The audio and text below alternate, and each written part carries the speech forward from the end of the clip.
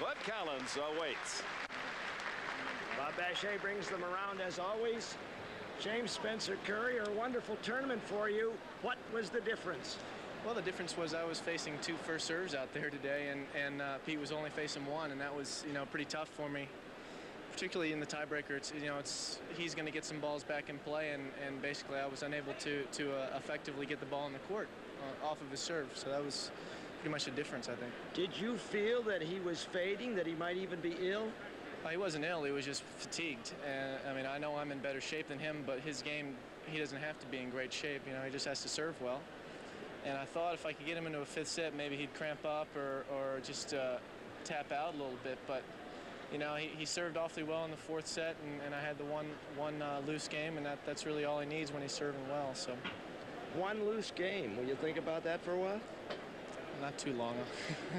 I'm pretty happy to get to the final. This is not my best surface, and uh, sure uh, disappointed to lose, uh, particularly two tiebreakers the first two sets. That's it's pretty discouraging, really. But uh, you know, that's grass court tennis. You, you, know, you win by the sword, you lose by the sword on this stuff. Congratulations, Jim. You beat a Thanks. champ, Edberg, to get here. Thanks.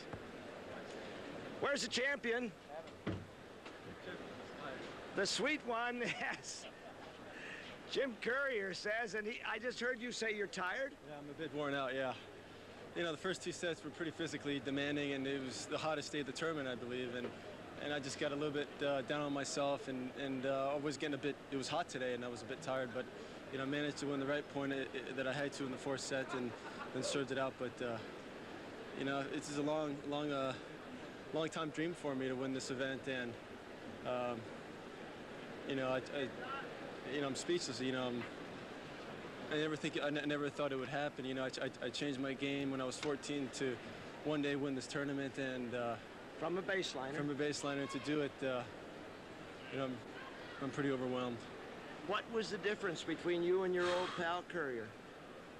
Um, I felt I, I returned his second serve pretty well. I, you know, he's uh, serving very big. My game plan was to mix around my serve a lot, out wide to his forehand, and that seemed to work. And, and not really give him a groove on my second serve. Mix it, mix it up because I saw him play Edberg, and he was just, uh, you know, just teeing off in his serve, and so I wanted to mix it up a little bit. But, uh, you know, it was good I won that fourth. It was I was disappointed. Could you have won in five? Uh, I don't want to think about that right now, but uh, I think hopefully the, the you know I would have got my second win. But I was, for some reason, it was a lot of nervous energy. I think you know I was physically just everything was just a bit heavy. And, were you ill? We were speculating. No, I was not. No, I wasn't ill. Just uh, ran out of gas there a little bit, but you know, you know, just uh, one of those things where it's just I've never really been in this situation before, and, and uh, and I got a bit fatigued. Well, you're here now. Take a look at the champion, Pete Sampras, a Yankee Doodle dandy. Dick?